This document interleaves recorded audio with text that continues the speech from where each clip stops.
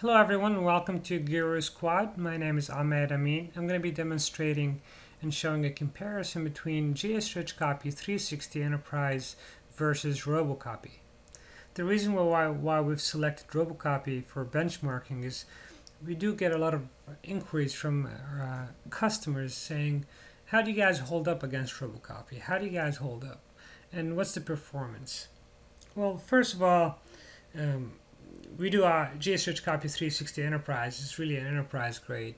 It does offer um, a lot of features that RoboCopy does not offer, such as uh, copying across the internet, uh, encryption, compression, uh, copying open files, um, setting date and timestamp properly, uh, sending an email when it's completed, and the list goes on. Of course, other than running as a service, copying long path names with no problems uh, right out of the box and it's very simple and easy to use.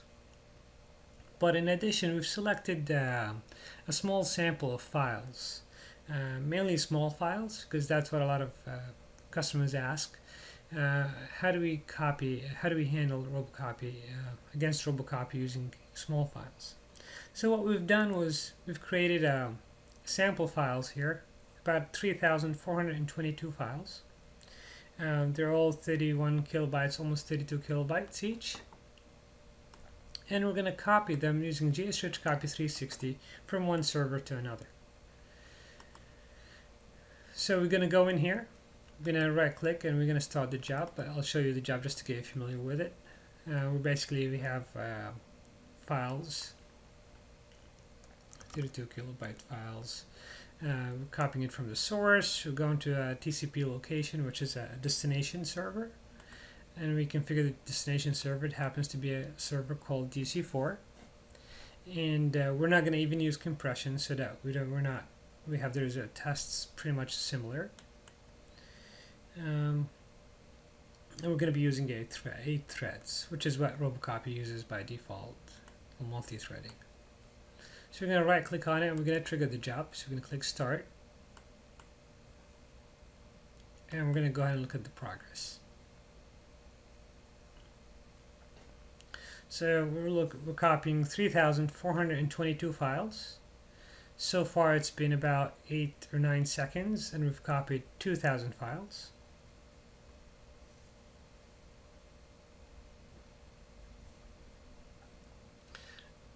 So you can see basically this is a dashboard that's giving you all the copying results where we just completed the job and it copied 3,422 files in 24 seconds.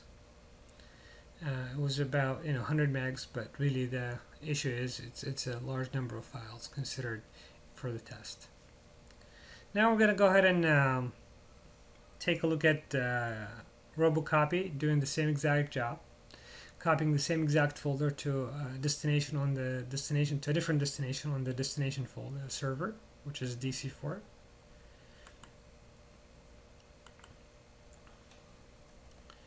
So we're going to copy it. We're going to go ahead and start the job.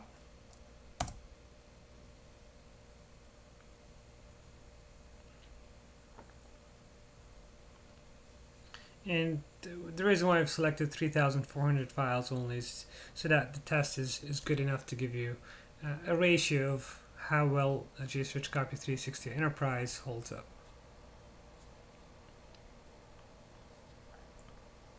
Should take about possibly a minute or so to complete. So I'm going to let the job run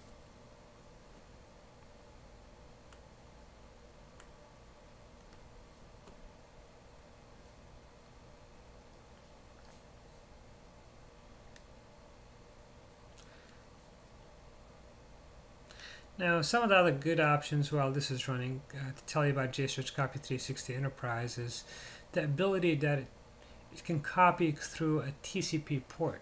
So if you've got um, different firewalls between VLANs or copying between the DMZ and internal network or whatever the case may be, or perhaps you're copying from the cloud, uh, trying to back up data from the cloud back into your data center, you could basically copy it all through a dashboard, through a TCP port.